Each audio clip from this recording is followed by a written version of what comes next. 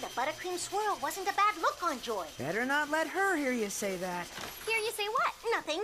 Uh, just, uh, I, uh, uh, Joy, I want you to know my culinary skills are good enough for the finest of restaurants. And I'd appreciate the opportunity to. Wonder who that could be. Cleanup's looking good. Thanks, guys. She did not hear a word I said. Yeah, you were invisible to her.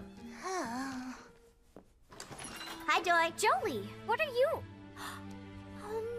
No! We were gonna watch movies tonight, weren't we? You forgot? No, I, uh, I. Yeah, Jolie, I'm so sorry. We're having a missions fundraiser and. Well, why don't you come help? You can meet the group. It's okay, Joy. They're your your church friends, right? It's not like that. I've just been so busy with all these commitments I've taken on and. And you no longer have time for your old non-church friends. I know it might look like that, but if you just come with me one weekend. Joy, each time it's the same answer. You know I spend most of my weekends with my dad, and he lives out of town. So, anyway, I, uh, sent you an invitation to my birthday party. Oh, I uh, I was so busy I haven't checked messages all day. This will be so much fun. Wait, your birthday is on the 28th. Is that when the party is? Yes? I I can't come on the 28th. That's when I volunteered to start the weekend tutoring program at the school. 20 kids have already signed up for help. They're relying on me. I'm I'm so sorry. I get it.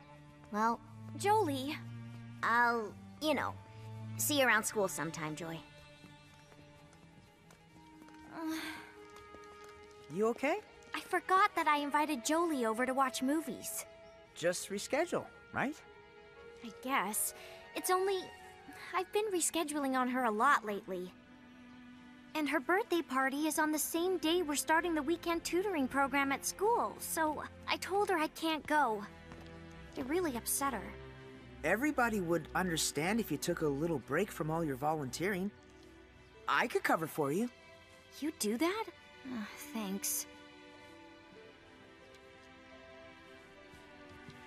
Why does it seem like you don't really want to go to Jolie's birthday party? You do want to go, don't you? Well, yes, of course. I mean, I think so. It's just. Well, I don't know what I mean. Joy? You know, ever since. Uh... Chris, since we became Christians,